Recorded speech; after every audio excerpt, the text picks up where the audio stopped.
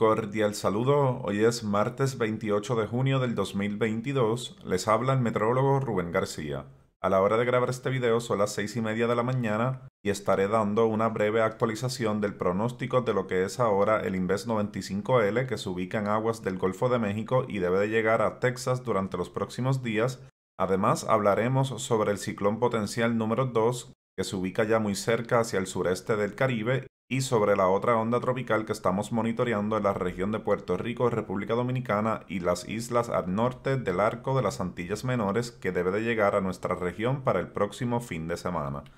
Así que sin más preámbulo vamos a acercarnos a la imagen de satélite de infrarrojo en la región del Golfo de México. Podemos ver el área de baja presión que estamos monitoreando hacia el sur de Luisiana este sistema fue designado el Inves 95L, por lo cual durante el día de hoy tendremos trayectorias especializadas que nos van a dar una mejor idea de dónde puede estar llegando este sistema entre el miércoles y jueves de esta semana.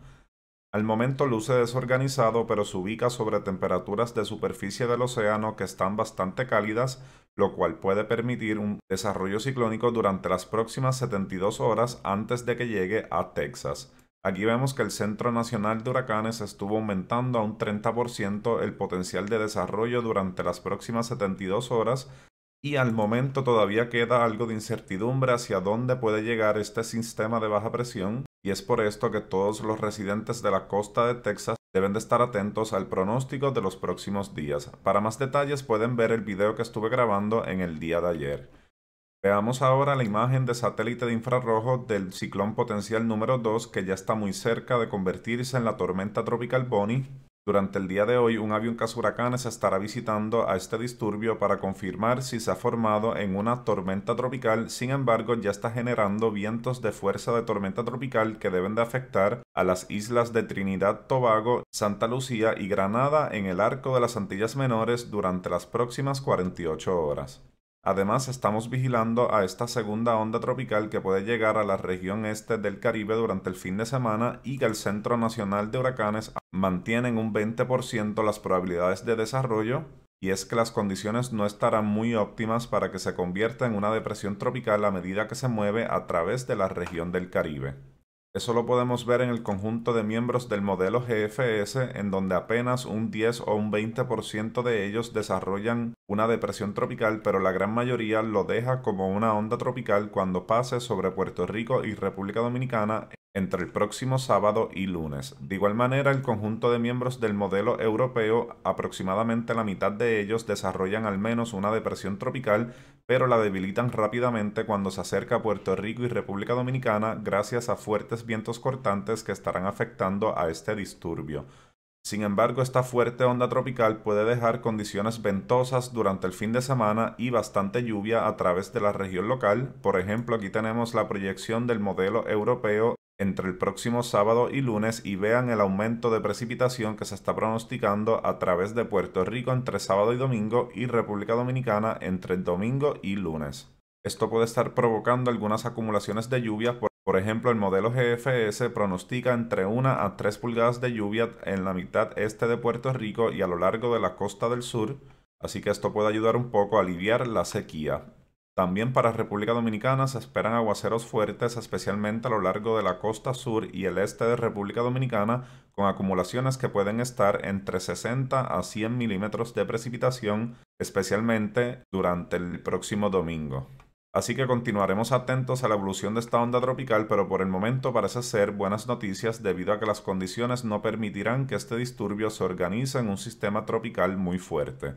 Hablemos entonces sobre la futura tormenta tropical Bonnie. Como saben, Bonnie se acerca ya al arco de las Antillas Menores y va a pasar muy cerca hacia el norte de la costa de Venezuela como una tormenta tropical y el Centro Nacional de Huracanes mantiene esa trayectoria completamente hacia el oeste durante los próximos días y hasta el fin de semana, llegando a la región de Costa Rica o Nicaragua como un huracán de categoría 1 así que se espera que durante las próximas 24 horas se convierta oficialmente en una tormenta tropical y debe de dejar algunos efectos de vientos de 40 millas por hora sobre Trinidad, Tobago, Santa Lucía y Granada, y luego va a estar pasando muy cerca o sobre la costa de Venezuela y el norte de Colombia. Es muy probable que durante los próximos días continúen emitiendo vigilancias de tormenta tropical y avisos de tormenta tropical a lo largo de la costa de Venezuela y el norte de Colombia, pero las buenas noticias es que la parte más activa de estos sistemas suele quedar hacia el norte o a la derecha de la circulación y es por esto que se espera que los vientos de fuerza de tormenta tropical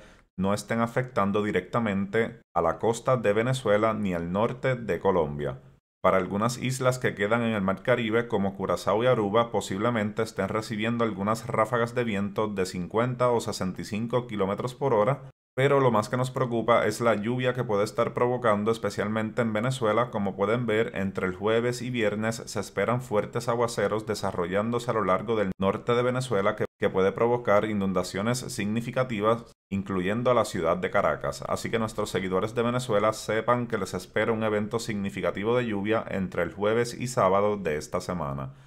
Luego de eso, la futura tormenta tropical Bonnie se estará moviendo hacia aguas del suroeste del Mar Caribe, en donde puede encontrar condiciones favorables para fortalecerse en un huracán de categoría 1 y pueden ver que la proyección del modelo GFS indica de que puede estar afectando a las islas de San Andrés y Providencia entre el sábado y domingo como tormenta tropical fuerte o huracán de categoría 1 y luego llegando a la costa este de Nicaragua como un huracán de categoría 1. Hay un poco de discrepancia en algunos modelos, por ejemplo el modelo GFS mantiene una trayectoria más hacia el oeste-noroeste, mientras el modelo europeo mantiene una trayectoria un poco más hacia el oeste-suroeste, acercando al futuro huracán Bonnie a sectores del sur de Nicaragua y a regiones de Costa Rica. Así que es importante que adicional a Nicaragua y Honduras, Costa Rica también esté atento a la evolución de este futuro ciclón. Lo más que nos preocupa, al igual que en Venezuela, son las fuertes precipitaciones que puede dejar a través de la región. Por ejemplo, el modelo GFS está pronosticando entre 150 a 200 milímetros de precipitación en sectores del norte de Nicaragua, Honduras, Belice y Guatemala durante el fin de semana y comienzos de la próxima semana.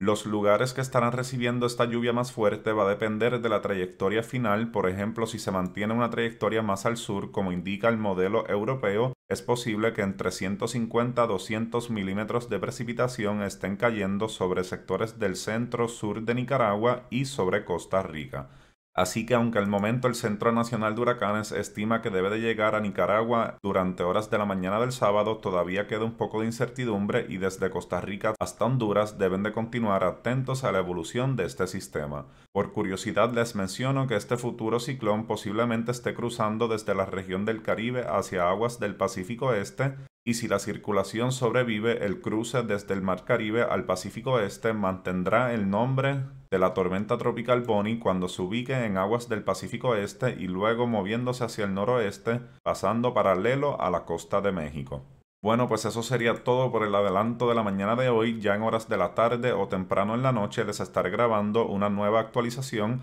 así que no olvides suscribirse a mi canal en el botón rojo de la parte de abajo del video y denle clic a la campana para que les lleguen notificaciones de cuando grabe ese nuevo video. Hasta luego, que pasen todos un excelente día.